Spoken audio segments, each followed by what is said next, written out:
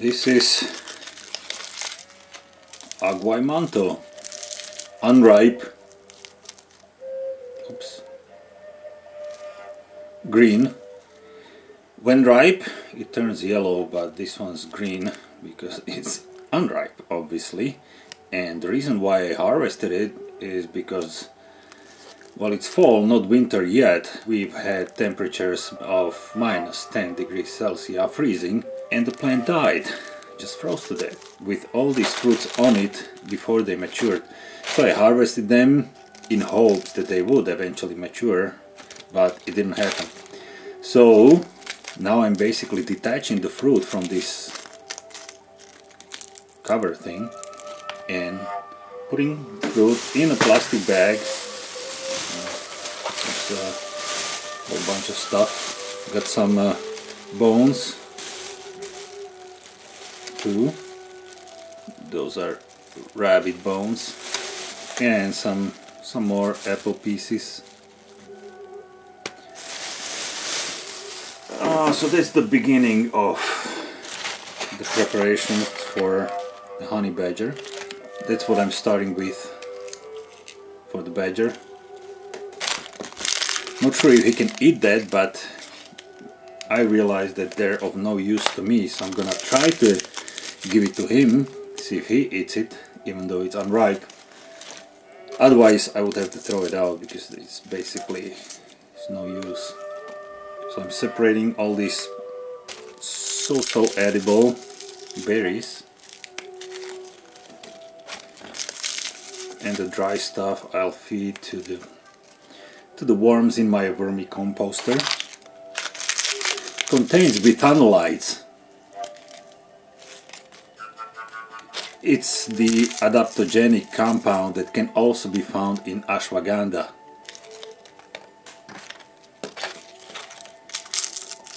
And oh, oh, look at this one. This one's good. This one matured. Okay. So this one will be eaten and I will save the seeds for planting next year. Okay. I got one that matured. It must have been partially mature already because no other berry matured. This one's kind of shriveled.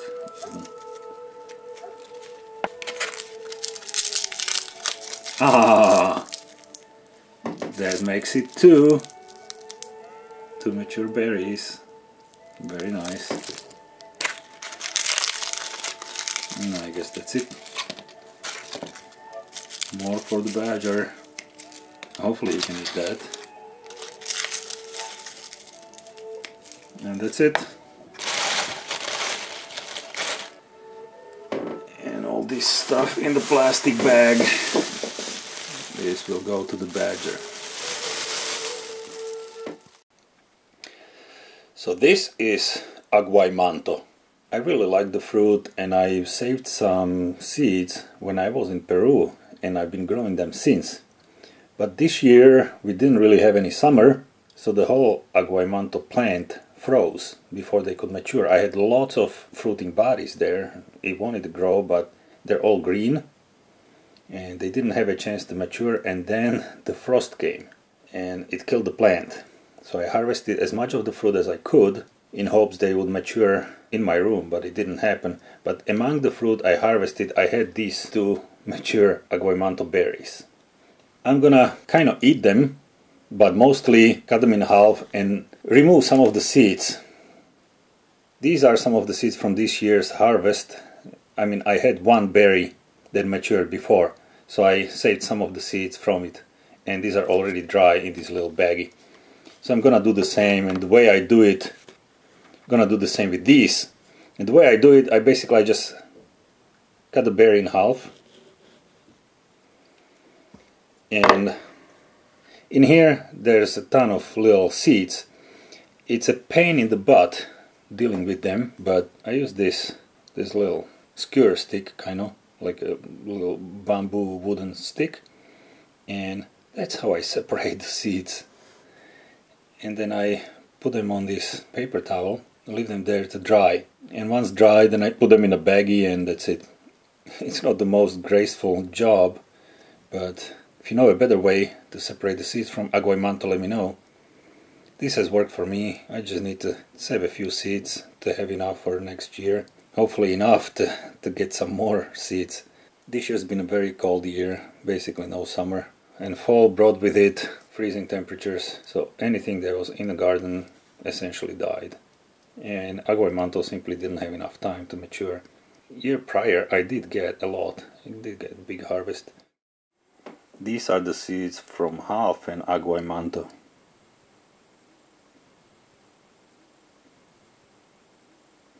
Here's one whole berry and the other half, so I'm gonna deal with those as well. For now, that's what we have. They're tiny little seeds. But they grow into a big bush. But they are not winter hardy though. These are my raised beds with Aguaymanto. Yeah, that's what it looks like after the frost arrived. Basically dead. So I harvested some of the fruits, hoping that some of them would mature, but it didn't happen. Some I left on the plant, but the plant died right away. It cannot handle the frost, and that's what's left of it.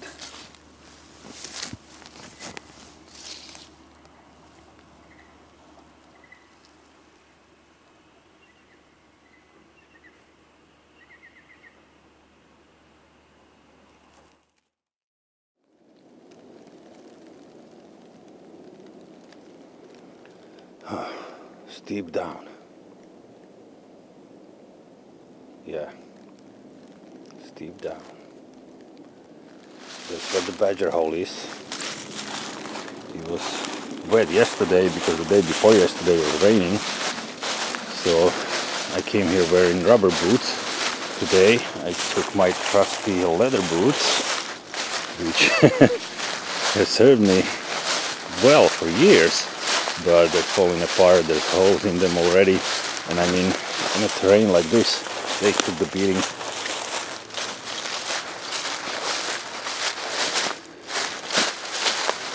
But they've really paid for themselves. Okay, so I'm curious what happened with the food that I left for the badger.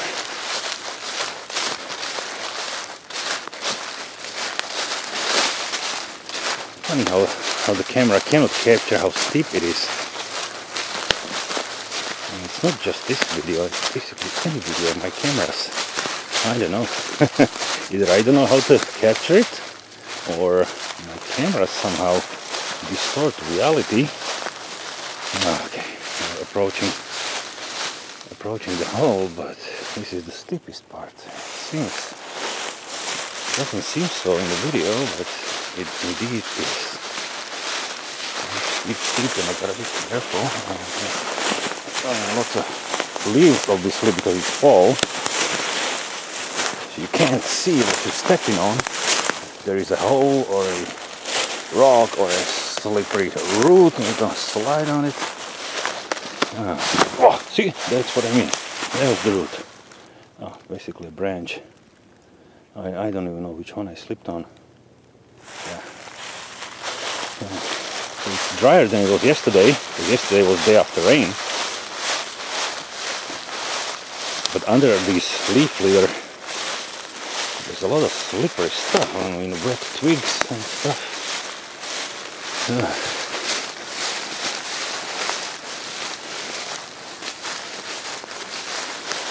Things we do to get a picture of an animal. Okay. The steepest part is behind me, okay, right? That's where I came from. Oh, the rest of the the rest of the hill you can't even see. This part is so steep. And well, here we are.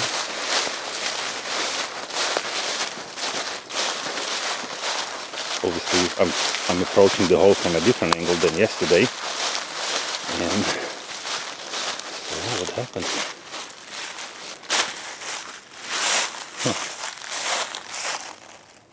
a lot of it is still there, but some is eaten and some is picked out. I mean, there's a grape beside it. Was munched on a little bit. The mush inside. Huh. doesn't really look promising and there's a bit of apple right there so I don't know huh maybe I didn't bring the right food and it's probably just the rats because there's a rat poop I believe in there oh my goodness so oh, has this been a complete failure then hopefully the apple that I rolled in the hole in the den uh, saved his life in, in a way I don't know maybe he doesn't like this food hmm. brought some bones today so hopefully won't, they won't attract the wrong type of animal because there's carnivores in the forest too and there's foxes lots of them. okay I'll get to work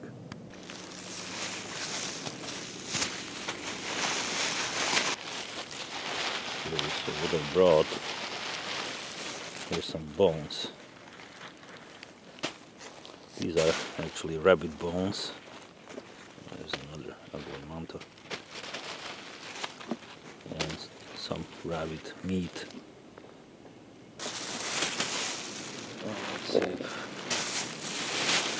that helps. Oh, alright the box is full. Fortunately, I didn't get a chance to get anything more substantial, but there's some meat there. Some pieces of apple that I cut up and more aguaymanto. Uh, not sure if that's good enough because only a little bit was eaten. I mean, this grape was a little bit nibbled on. There's uh, these are apple pieces but it doesn't look like anybody ate them just kind of tossed them out. But there are some bones there and some meat. So let's see if that helps any. I'm gonna set the camera up turn it on and we'll see if there's anything on it.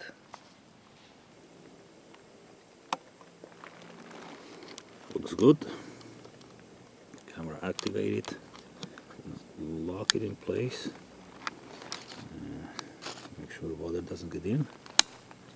And, yep, we're ready to roll. Camera there, food there, there,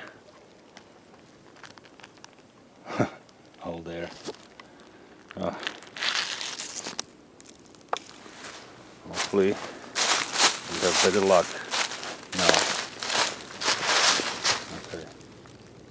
There you go, I'm in front of the camera, it's capturing me actually. oh well.